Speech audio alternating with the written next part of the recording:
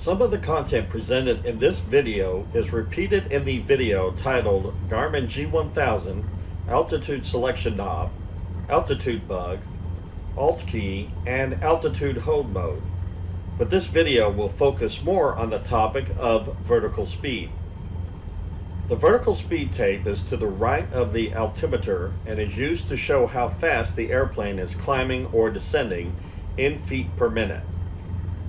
Right now the black arrow, which is the vertical speed indicator, is centered, showing we are neither climbing or descending. When we initiate a climb manually, we can see in this example that we start to climb at 200 feet per minute, 400 feet per minute, 600 feet per minute, and higher rates. As we lower the nose, we see the numbers decrease, and when the vertical speed indicator gets below center, we start to show negative numbers indicating a descent.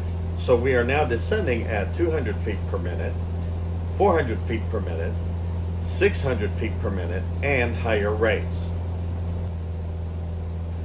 The vertical speed key, or VS key, is used in combination with the nose up and nose down keys to control the rate of climb or descent in 100 foot increments. The VS key is located in the lower left corner of the primary flight display, or PFD, and the lower left corner of the multifunction display, or MFD. The nose up and nose down keys are also located in the lower left corners of both the PFD and MFD. The system uses the elevator trim to maintain the rate of climb or descent. Often the VS key is used to go from straight and level flight to another altitude. In our first example, the autopilot is already activated. We are flying straight and level at 2,000 feet MSL and want to climb to 3,000 feet MSL, so we set the altimeter to target 3,000 feet.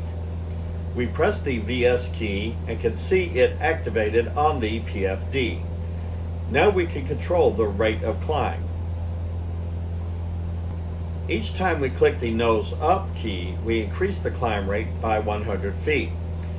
We can settle at 300 feet, or if we want to decrease the rate of climb, we can click the nose down key.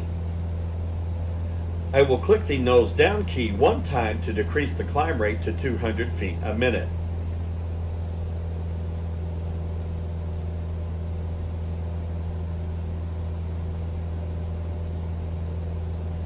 Now I will click the nose up key until I increase the rate of climb to 500 feet a minute.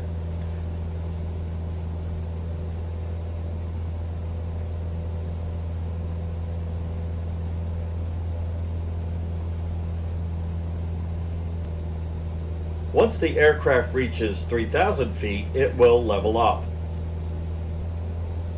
Now this time I will descend to 1,500 feet.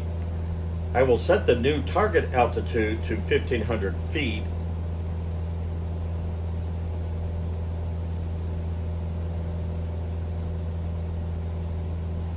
and press the VS key to activate the vertical speed mode. Again, we can control the rate of descent using the nose up and nose down keys. I will initially press the nose down key until I reach a descent rate of 300 feet a minute.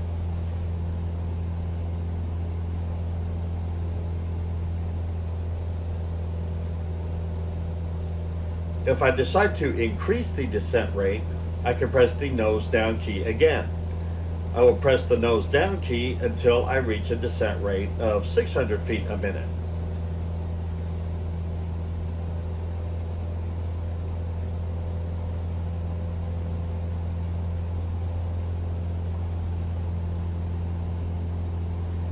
Now I will decrease the descent rate to 500 feet per minute by pressing the nose up key one time.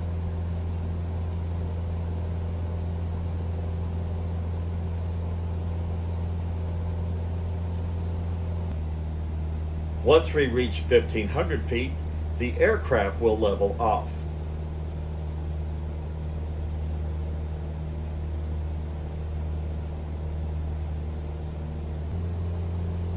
Also, when using the autopilot and in a climb or descent, there are a couple of other ways to level off.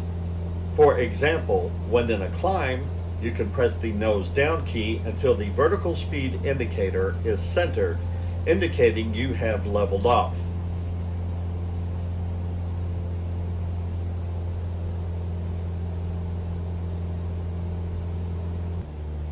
The other way when using autopilot, and a way I prefer more than using nose up or nose down keys to level off, is to use the ALT or altitude hold key when you reach the target altitude. So if I'm in a descent and I want to level off at 2,000 feet MSL, I can press the altitude hold key when I get near the altitude and it will level off at 2,000 feet. Now in this example I clicked a little early so it leveled off at 2100 feet. I do want to mention when you climb from straight and level flying you will often want to add power. When you are in a descent from straight and level flight you will often want to decrease power. You may have also noticed a magenta line on the altitude tape.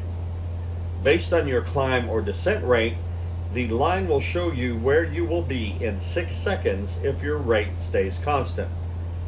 Note that the line will change as you vary your climb or descent rate. In this example, we are climbing at a rate of 500 feet a minute.